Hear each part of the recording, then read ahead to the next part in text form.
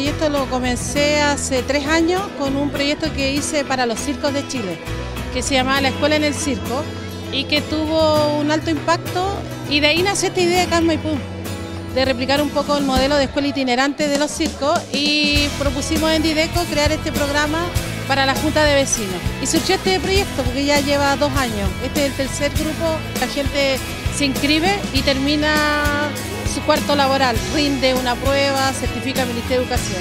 Yo que bueno, nunca es tarde para estudiar, pero pensaba que había una edad como para estudiar. Me dijo, no, me dijo, no importa la, la edad, son las ganas nomás. A través de la Junta de Vecinos se inscribe, solo necesita la fotocopia de su carnet. No necesita acreditar estudios previos porque el Ministerio no- nos permite a nosotros esta, esta instancia de solo certificado de fotocopia de carnet.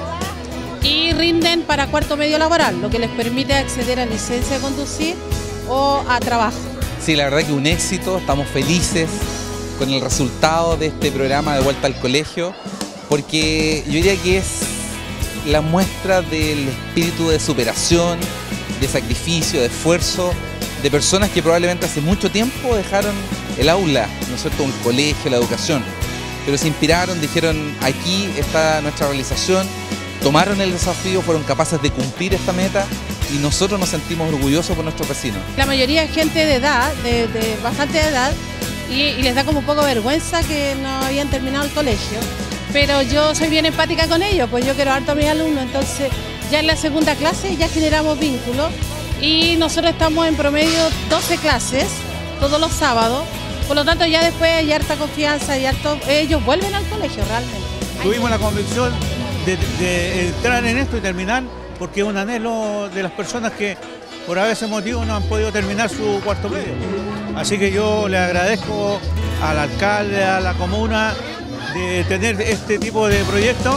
Así que yo me siento pero realmente realizado. A partir de marzo ya se pueden inscribir en la Junta de Vecinos y las dirigentes de la Junta de Vecinos solicitan el programa Dideco o organizaciones comunitarias. Chiquillos, anímense, aquí no hay edad, sobre 18 años hasta la edad que tenga. Es un programa hermoso, eh, tiene clases dos horitas a la semana, no es tanto, nosotros nos adecuamos al horario de la Junta de Vecinos y es la misma Junta de Vecinos, por lo tanto ni siquiera tienen que trasladarse muy lejos. Y nosotros damos garantía de éxito, no hemos reprobado con ningún alumno de los 300, los 300 han aprobado.